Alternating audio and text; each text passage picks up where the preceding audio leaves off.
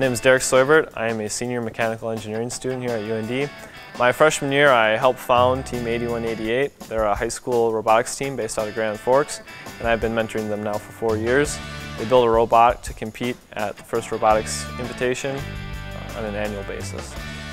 So much creativity can be put into something that seems like it's just ones and zeros, it's just math. But then yet all of these possibilities come out of it, all of this ingenuity and creativity that it's almost more similar to art than it is to to what people think of math and STEM and science and all that.